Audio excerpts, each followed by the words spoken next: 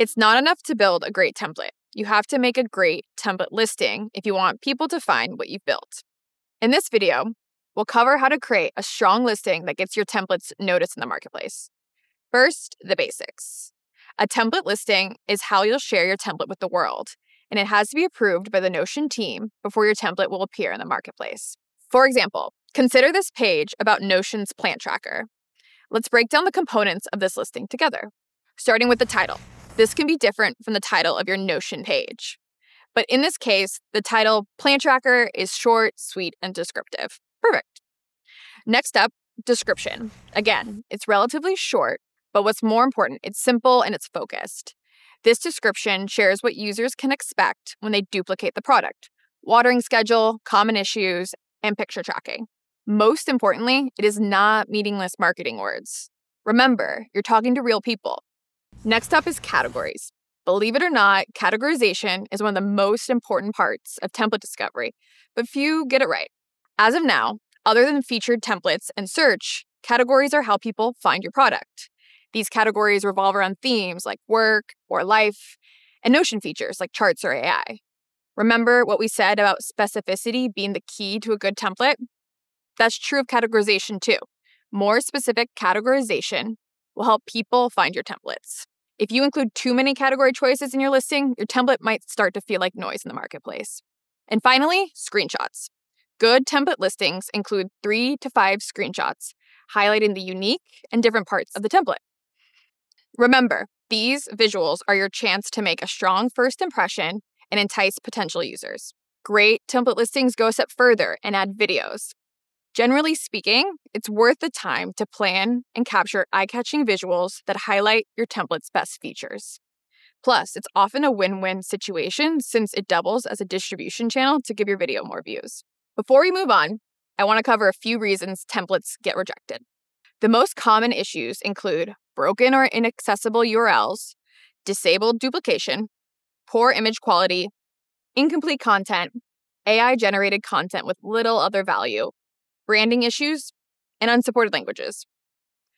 To avoid these common issues, double check your URLs, ensure duplication is enabled, and take care to submit high quality content in both your template and your listing. Now let's put these learnings to work and build a listing for our own template.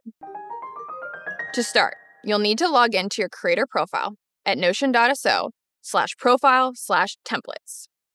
If you don't have a creator profile, check out this video.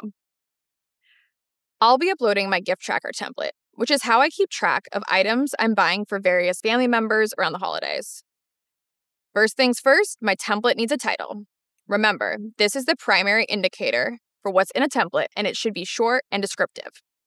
Here, I'll do Holiday Gift Giving Tracker to capture the seasonality and functionality of my template. Here, we need to add the dot site link that comes from the Publish menu inside Notion. Importantly, it's different from the .so link that's in your browser's address bar. I'll go ahead and copy it here. Then navigate back to the template listing and paste it in. Once I do so, a cover image will be generated. The default image is great to use as a cover, but let's not stop there. Clicking Add Preview will bring us to a menu where we can add additional screenshots. There's two ways to do this either by linking to subpages in a template and automatically generating screenshots like so, or by manually creating them and uploading them. And if you include a URL with your side peek or center peek open, it'll show up in the screenshot. And linking to a block will automatically scroll the screenshot down. These are just some fun hacks to consider. Keep in mind that screenshots won't change once they're generated. If you want to tidy something up or remove a callout just for the screenshot, feel free to do so and add it back later. If you're having issues with this step, double check that the dimensions of your images match what's expected here.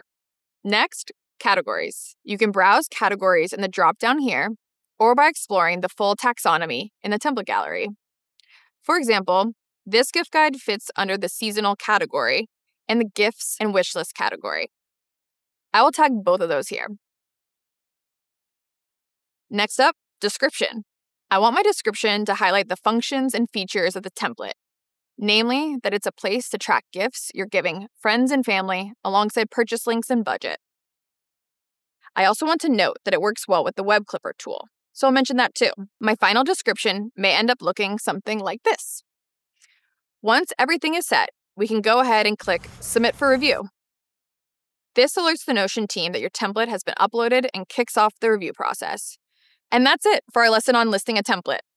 Remember, a great listing can make all the difference in attracting users to your template. Take the time to craft a compelling title, write a clear and focused description, choose appropriate categories, and showcase your template with high quality screenshots. Don't forget to double check all the technical aspects we discussed to avoid getting rejected. And most importantly, always keep your users in mind when creating your listing. You're not just selling a product, you're offering a solution to somebody's problem. In our next lesson, we'll dive into building your creator profile and establishing your brand in Notion's template marketplace. Until then, happy creating.